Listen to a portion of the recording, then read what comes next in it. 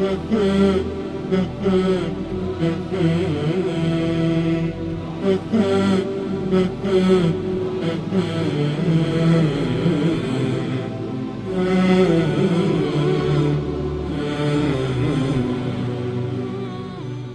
الله الرحمن الرحيم الحمد لله رب العالمين الرحمن الرحيم مالك يوم الدين والصلاة والسلام على سيد الأولين والآخرين وخاتم الأنبياء والمرسلين سيدنا محمد وعلى آله الطيبين الطاهرين وصحبه الغر الميامين رضوان الله تعالى علينا وعليهم أجمعين ثم أما بعد ما زلنا في سورة المزمل وتكلمنا في الحلقة الماضية عن الآية الأولى وما زلنا في بعض الإشارات عن السورة وعن مضمونها العظيم الذي تضمنته في خطاب النبي صلى الله عليه وسلم.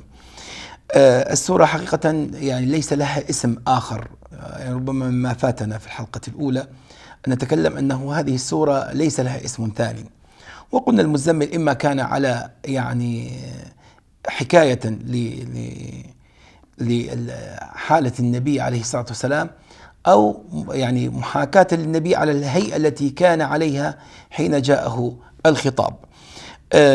سورة المزمل طبيعي علاقتها أو مناسبتها لما قبلها من سورة الجن ذكر العلماء أقوالا كثيرة ولكن يعني مما ذكره الإمام البقاعي في نظم الدرر قال أنه لما جاء الأمر للنبي بالقيام قم الليل إلا قليلا وناسب هذا القيام ما قبله من الكلام في سورة الجن أنه في قول الله تعالى وأن المساجد لله فلا تدعوا مع الله أحدا وكذلك لما قام عبد الله يدعوه كادوا يكونون عليه لبدا فناسب ذلك القيام هذا القيام. وذكر السيوطي أيضا فيما ذكره في المناسبة قال أنه لما انتهت السورة سورة الجن في الكلام عن الرسل في قول الله تعالى إلا من ارتضى من رسول فإنه يسلك بين يديه ومن خلفه رصدا قال ابتدأ الكلام بخير الرسل وأعظم الرسل محمد صلى الله عليه وسلم فجاءت بداية السورة على هذه المناسبة. تكلمنا عن أيها يا أيها المزمل ووقفنا على قول الله تعالى قم الليل إلا قليلا وقم الليل الأصل فيها كما قلنا القراءة المشهورة المتواترة في قضية قم الليلة على كسر الميم وهناك قراءة على ضم الميم وهناك قراءة على فتح الميم. قال قطرب فمن يعني ضم أتبع يعني هرب من من قضية توالي من انتقاء الساكنين ومن فتح إنما اتبع الخفة وكله من حيث اللغة. صحيح لكن تبقى نحن عندنا الحاكم في المسألة هو ما ورد فيه التواتر يكون هو الضابط في مسألة يعني ما يقوله أهل اللغة من جواز ذلك لغة لكن قد يعني لا كل ليس كل ما يقوله أهل اللغة من جواز حركة أو أو لغة معينة.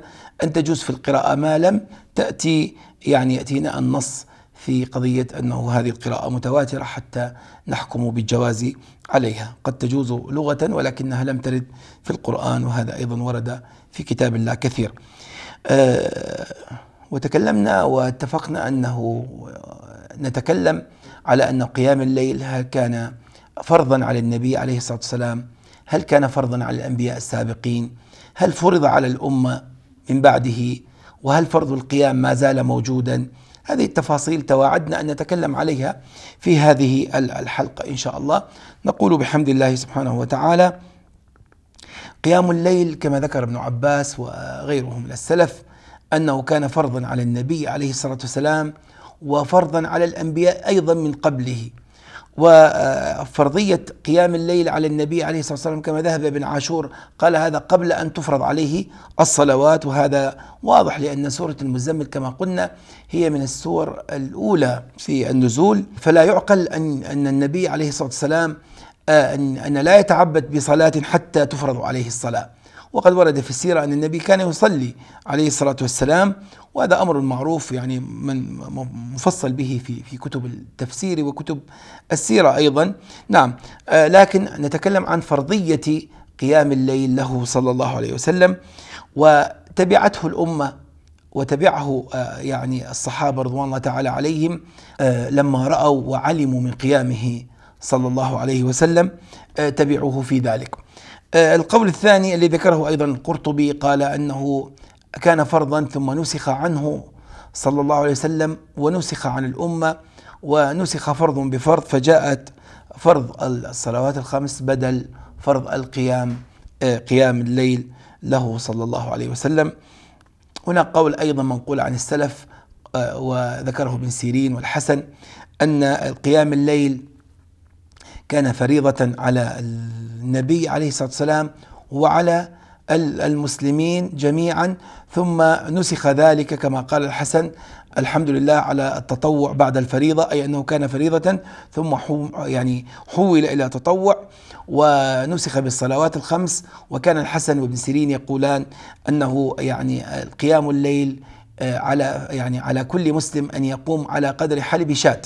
يعني ولو ولو مقدار قليل يقوم من الليل لأنه حقيقة هذا شعار الصالحين وهذا آه، يعني ديدا آه، أهل الصلاح وأهل الخير قضية قيام الليل.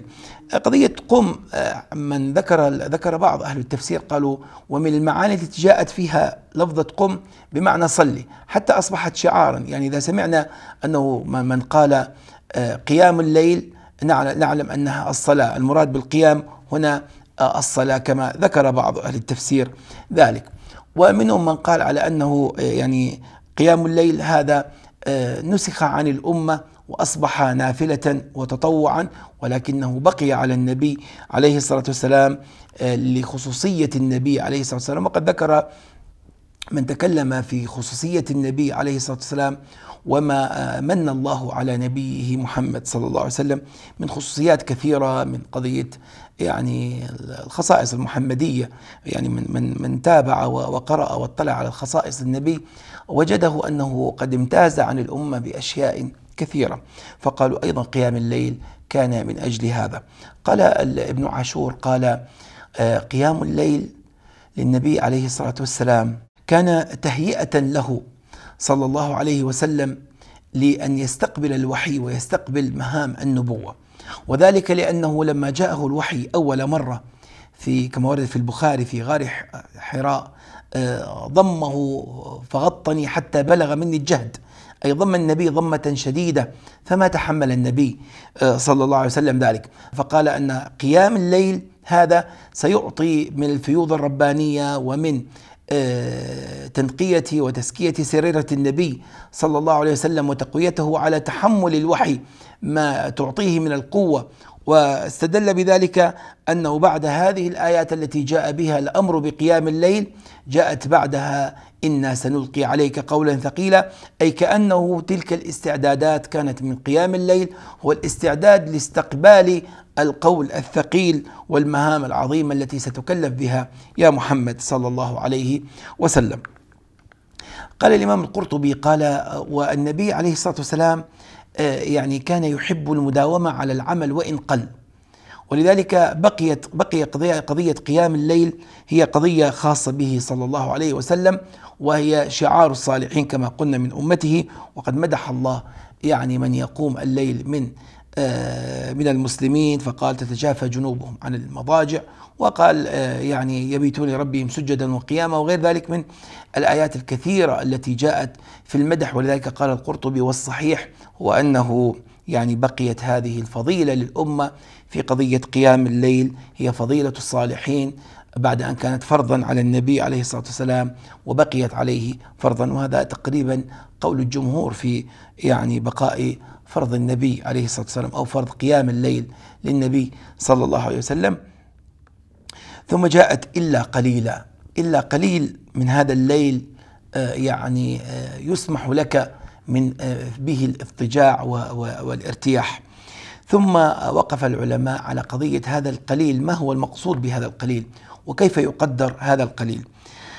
لاحظوا من عظمة الجيل الأول والرعيل الأول من الصحابة ورضوان الله تعالى عليهم قالوا كان كما ورد في الحديث كانوا يصلون وتتورم أقدامهم لأنهم ما كانوا يدركون ما هو الضابط يعني لم تكن عندهم ساعات كما هو عندنا الآن حتى يعرفون كم هو نصف الليل وكم هو ثلثاء الليل وكم هو ثلث الليل.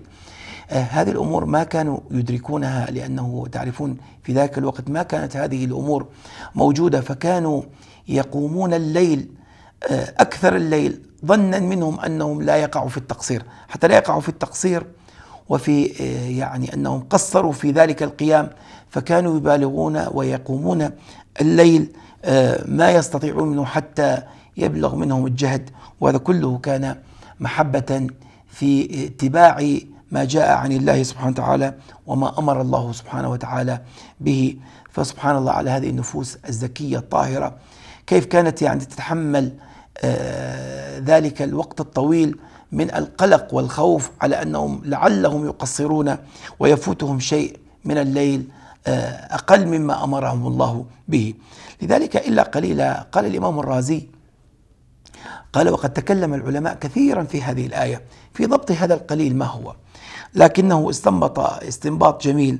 قال لما كان يعني آه، كانت السورة أن الله سبحانه وتعالى أمر النبي محمد صلى الله عليه وسلم في قوله تعالى إن ربك يعلم أنك تقوم أدنى من ثلثي الليل. قال لما كان النبي يقوم آه، الحد الأعلى الذي أمر به وثلثي الليل إذا بقي الثلث الذي ينام به النبي عليه الصلاة والسلام هذا هو المسموح به لنومه ولراحته كحالة بشرية أن ينام ثلث الليل لأنه الله أمر أقصى ما يكون أنه يقوم ثلثي الليل. فيكون الثلث الباقي هو للراحة ول آه، يعني آه، الأخذ القوة والطاقة على على الاستمرار في القيام في النهار وفي أعمال الدعوة. وهذا أيضا ما ذكره مقاتل بن سليمان وذكره بعض المفسرين القدامى نقله الرازي أيضا عنهم.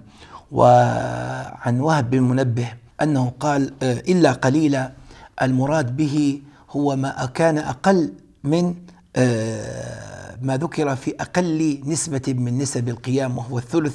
قال فيدخل فيه السدس ويدخل فيه المعشار. هذا هو القليل الذي سمح به. آه، هذه هذان القولان يعني هم ما هو موجود. ومنهم من قال على أنه المراد بالنصف. آه، كما قال تعالى في الآية بعدها نصفه أو انقص منه قليلا. قبل أن ننتقل إلى قضية يعني قم الليل إلا قليلا نصفه أو انقص منه آه، قليلا. هنا نصف الليل نصف الليل أنه النبي عليه الصلاة والسلام يعني أولا أمر بقيام الليل إلا قليلا منه وقلنا على من قال أنه القليل هنا المراد السدس أو العشر على من قال وعلى قول الرازي ومقاتل أنه الثلث. جاءت الآية التي بعدها في بيان أنه نصف الليل أو انقص منه قليلا. آه، قال الأخفش قال هنا عندما تأتي الآيات متتابعة آه، يعني مثلا في قولك لرجل آه، أعطه درهما درهمين ثلاث ليس المراد أن تعطيه يعني ستة دراهم. لا المراد يعطيه درهما أو درهمين أو ثلاث. يعني وإن لم تذكر أو لكن هذه معروفة من السياق هكذا ذكر الأخفش. يعني كما قال إن ربك يعلم إن ربك يعلم أنك تقوم أدنى من ثلثي الليل ونصفه وثلثه أي أو نصفه أو ثلثه أي كأنه كان ذلك على التخيير. نعم. فنصفه آه، أو انقص منه قليلا. نصف الليل يسمح لك بالقيام وهو رخصة ورحمة من الله سبحانه وتعالى للنبي صلى الله عليه وسلم. قال نصفه. أو انقص منه قليلا أو أنقص من ذلك النصف قيل نصفه فيكون الربع.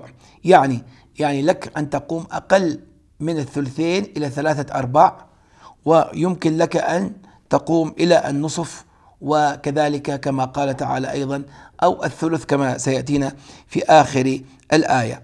آه، أو انقص منه قليلا أي انقص من ذلك النصف قليلا قالوا ونصف النصف هو أقل من النصف يعني الربع أقل من النصف فيكون المراد آه، نصف يعني ربع الليل أيضا آه، لك الحق القيام به. هذا أيضا ما ذكره أهل التفسير أو انقص منه قليلا على المعنى الذي ذكرنا أو زد عليه.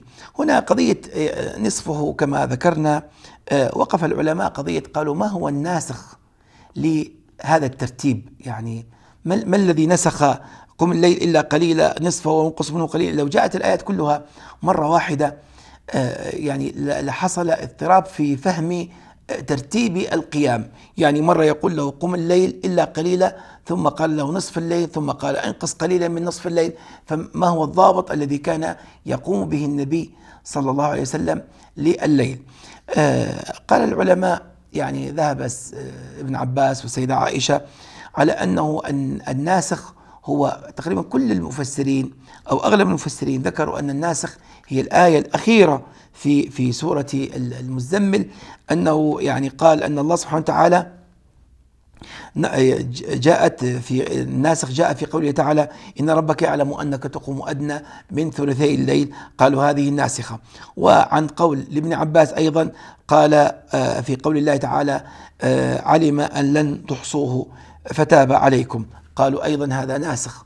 ومنهم من قال أنه آه، الناسخ هو الصلوات الخمس التي جاءت هي نسخت كل ذلك القيام وأصبح النبي مخيرا بأن يختار ما يقوم من الليل. هذا أيضا قول موجود عند المفسرين في قضية ما هو الناسخ.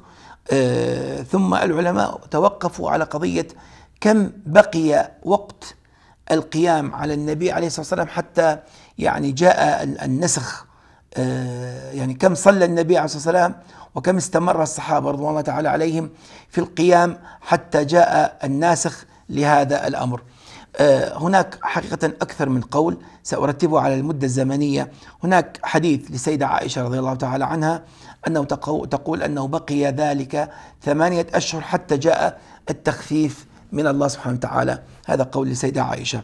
وهناك قول آخر آه، لسيدة عائشة ولابن عباس أيضا رضي الله تعالى عنهما أنه آه، وهذا كما ورد في صحيح مسلم أيضا أنهم بقوا حولا أي سنة كاملة يصلون على هذا الاضطراب في عدم معرفة مقدار القيام وهذا التعب الشديد الذي كانوا به حتى أتموا يعني السنة ثم جاء آه، يعني النسخ في والتخفيف في قضية القيام وهذا تقريبا الذي عليه الأكثر والأشهر. عند المفسرين. يعني هذا اعتمده الطبري وابن كثير والرازي والقرطبي وجمع من المفسرين ذكروا هذا القول الذي في صحيح مسلم. هناك قول ذكره الإمام الماوردي وقال عنه القرطبي قال ولم يذكره غيره أنه آه، تقول السيدة عائشة رضي الله تعالى عنها أن بقيت الصلاة على هذه الحال ستة عشر شهرا. وهذا يعني كما قال القرطبي لم يذكره غير الماوردي في هذا القول. وهناك عن ابن جبير أنه قال بقينا حولا أو حولين. الصحابة كانوا سنة أو سنتين ظلوا على هذا الأمر يعني يصلون آه، على كما قلنا على هذا آه، المقدار على عدم معرفة الضبط في المقدار حتى خفف الله عليهم.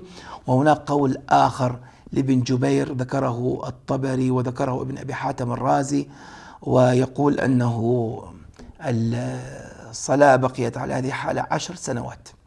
عشر سنوات بقي الصحابة رضوان الله تعالى عليهم على هذه الحال إلى أن جاء التخفيف من الله سبحانه وتعالى. هذا أيضا قول موجود عند المفسرين وتناقلوه وقالوا لكن كما قلنا الأكثر على أنه القول ال ال الذي قال في صحيح مسلم أنه سنة.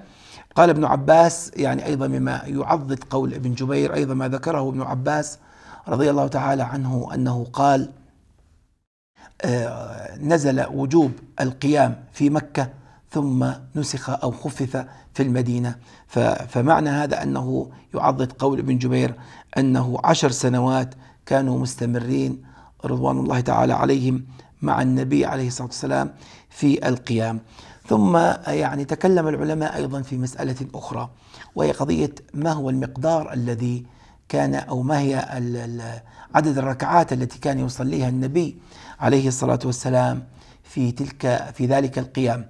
وهل الأفضل كثرة الركوع والسجود يعني كثرة الركعات أم الأفضل هو طول القراءة؟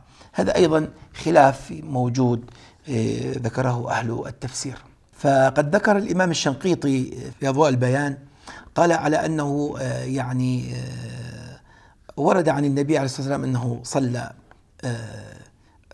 صلاة 12 ركعة وقيل ثمان ركعات وقيل غير ذلك. قال والذي عليه العمل في مسجد النبي عليه الصلاة والسلام منذ ألف عام كما ذكر هو قال أنه عشرين ركعة هكذا كان يصلي النبي عليه الصلاة والسلام.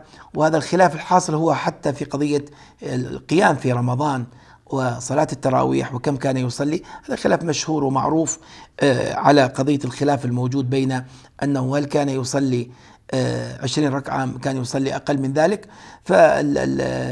فالشنقيطي له رسالة اسمها رسالة التراويح. يفصل فيها القول حقيقة في هذه المسألة تفصيلا جميلا.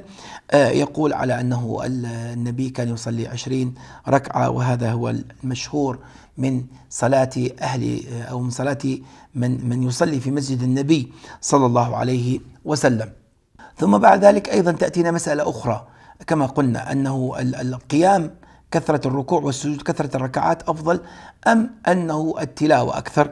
فمن ذهب إلى كثرة الركعات والسجود والركوع قالوا لأنه أقرب ما يكون العبد إلى ربه وهو ساجد. ولكن حقيقة الصحيح هو ما ذكره أهل التفسير قالوا أنه كثرة القراءة هي أفضل من قضية كثرة الركوع والسجود لأنه التي يعني نرى أنه آه، في الصلاة آه، في الصلاة الإنسان يقرأ وله بكل حرف عشر حسنات إذا ما ضاعف الله له مضاعفة أخرى. فيبقى قضية أنه آه، كثرة القراءة هي أكثر في الأجر وخاصة بدليل ماذا؟ أن الله سبحانه وتعالى ذكر بعد هذه الآية ورتل القرآن ترتيلا أي أنه رتل القرآن ترتيلا هذا الدليل على أنه تتابع القراءة. وسنتكلم عن ترتيل القرآن.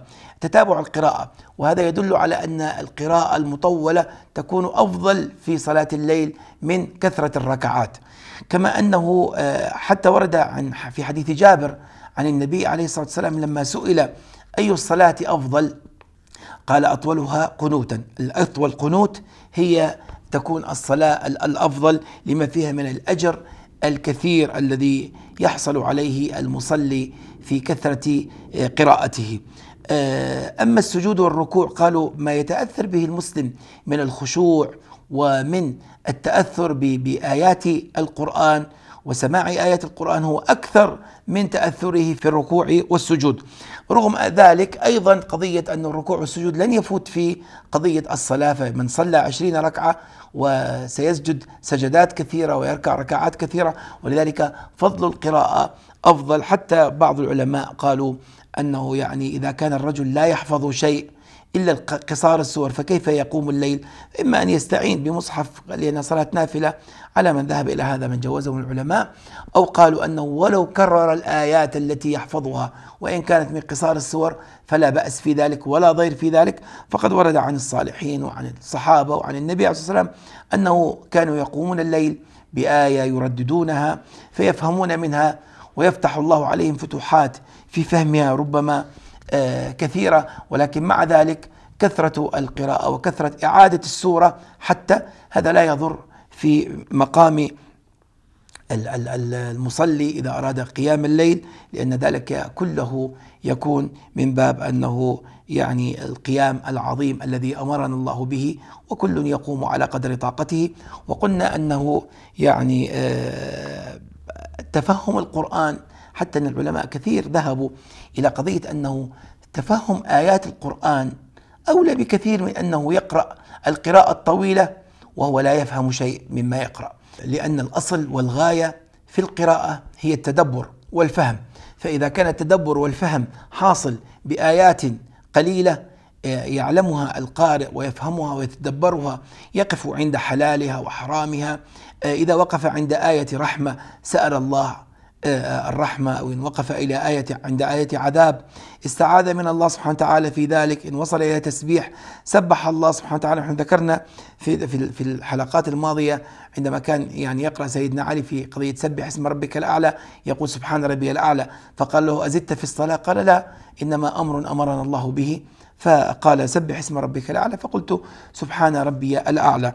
لذلك قضية أنه يعني قيام الليل والوقوف على معاني القراءة وما تدبر القرآن هذا طبيعي أعظم وأكثر أجرا من كثرة القراءة. لا نقول كثرة القراءة ليس فيها أجر له بكل حرف وإن لم يعرفه حسنة ولا حسنة بعشر أمثالها لكن قضية التدبر شيء عظيم جدا وإن لم يذكر لنا المقدار في عظم التدبر لكن يبقى تدبر شيء عظيم نتوقف إلى القدر إن شاء الله حتى نكمل مع الآية الرابعة بعونه تعالى إن شاء الله في الحلقة القادمة إلى ذلك الحين نستودعكم الله والسلام عليكم ورحمة الله وبركاته